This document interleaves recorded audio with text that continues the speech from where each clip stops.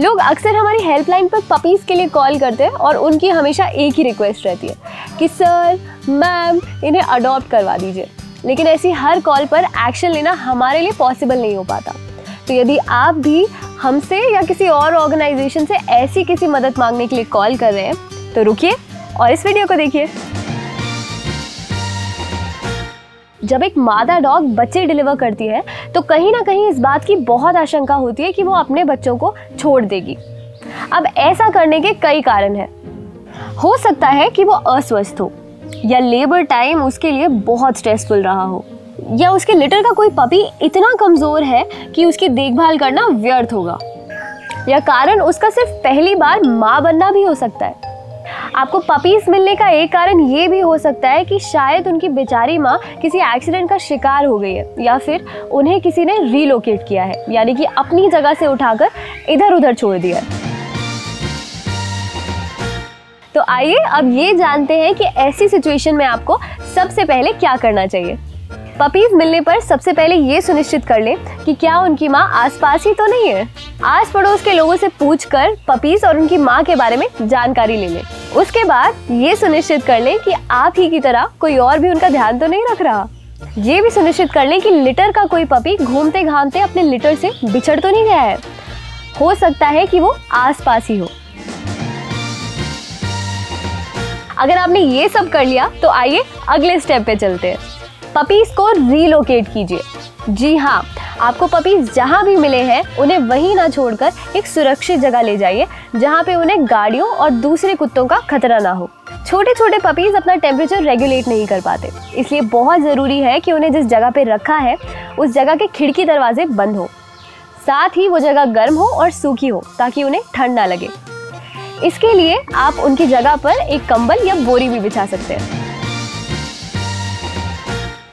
Puppies को clean कीजिए। यूँ तो मादा डॉग अपने पपीज को चाट चाट कर ही साफ़ कर देती है। लेकिन रोड पे रहते रहते उन्हें कई प्रकार की टिक्स या फ्लीज हो सकती है। इसके लिए आप वेट से उनके लिए एंटी टिक या एंटी फ्ली ग्रूमिंग किट ला सकते हैं। ध्यान रखें कि नहलाते समय उनके कानों में पानी ना जाए या फिर उन्हें ठंड ना लगे। बारिश के मौसम में या सर्दियों में उन्हें नहलाना सही नहीं है। अब आते हैं खाने पीने पे। नवजात पपीज या तो सोते रहते हैं या खाते रहते हैं। उन्हें खिलाना एक महत्वपूर्ण ज़िम्मेदारी है जिसपे थोड़ा ज़्यादा ध्यान देना पड़ता है। हर नवजात बच्चे के लिए उसकी माँ का दूध बहुत इंपॉर्टेंट होता है। बिन माँ के पपीज के लिए बाज़ार में ऐसे कई प्रोडक्ट्स हैं, जो माँ के दूध की कमी पूरा करते हैं। याद रखें कि नवजात पपीज को गाय या भैंस का दूध डायरेक्टली ना पिलाया जाए, क्योंकि ये उनके पेट के लिए बुरा हो सकता है। नवजात पपीज को हर दो से तीन घंटे में फ़ीड करना महत्वपूर्ण है। और ये ज़रूरी है कि उनका फ़ूड लिक्विड हो और उन्हें बॉटल या सिरिंज से फ़ीड किया जाए। जब पपीज तीन से चार वीक के हो जाते हैं तो वो बॉटल के निपल को अक्सर काटने लग जाते हैं। इसका मतलब ये है कि अब वो बॉटल छोड़ के बोल से खाने के लिए रेडी है। आप उन्हें किसी बोल में सॉफ्ट या सेमी सॉलिड फ़ूड दे सकते हैं। जब पपीज चार से छह वीक्स के हो जाते हैं तो वो चलने या भागने योग्य हो जाते हैं। तब आप उन्हें सॉलिड फ़ूड देना शुरू कर सकते हैं। ध्यान दें कि आप उन्हें एक साथ बहुत ज़्यादा सख्त फ़ूड ना दें। और साथ ही उनके लिए पानी भी रखा गया हो। छः से बारह वीक्स के हो जाने पर आप उन्हें दिन में सिर्फ़ तीन बार ही खाना दें। ज़्यादा खाना देने से उन्हें स्टमक इश्यूज़ हो सकते हैं। अब पपीज को खिला पिला तो दिया, पर क्या वो वाकई स्वस्थ है? ये जानने के लिए हमें ज़रूरत होगी रेगुलर मेडिकल हेल्प की। नवजात पपीज में एंटीबॉडीज अभी पूरी तरह से बनी नहीं होती है। इसकी वजह से वो जल्द ही बीमारियों का शिकार बन जाते हैं। कोशिश करें कि आप उन्हें वेट के पास पाँच से छः वीक्स होने के बाद ही ले जाएँ। उनके पहले मेडिकल चेकअप के दौरान उनकी डी वॉर्मिंग होना बहुत ज़रूरी है।